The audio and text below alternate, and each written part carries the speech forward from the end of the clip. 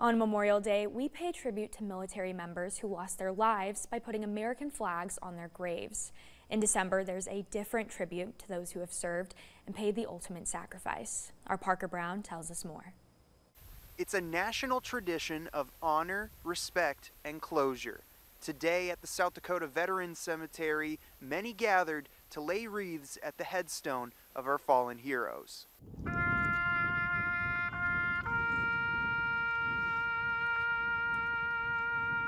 Wreaths Across America began in 1992 with a donation of 5,000 wreaths to the Arlington National Cemetery. It caught on and it allows families to remember their loved ones during the holidays.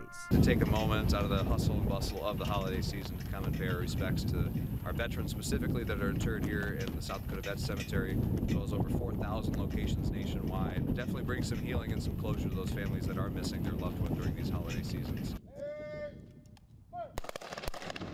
The day is also meaningful to living veterans like Randy Ward, who served in the Army during Vietnam as a medic. He now serves by honoring others with the Patriot Guard Riders, aiming to welcome home service members and attend memorial services. Upon arriving home in my small town, the first two people to welcome me home was uh, two of my heroes, which was World War II veterans. That was so important to me, and I've always felt a lot of gratitude to them, making my homecoming much better than a lot of the other Vietnam veterans. To veterans at the ceremony, it was about showing respect and dignity to those who gave everything for their country. This is an event for us but normally they're missions that we do.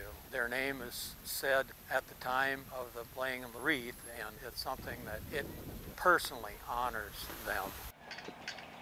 Next year's ceremony will be right here on December 14th at 11 a.m., once again to coordinate with the Arlington National Cemetery ceremony at noon in Washington, D.C.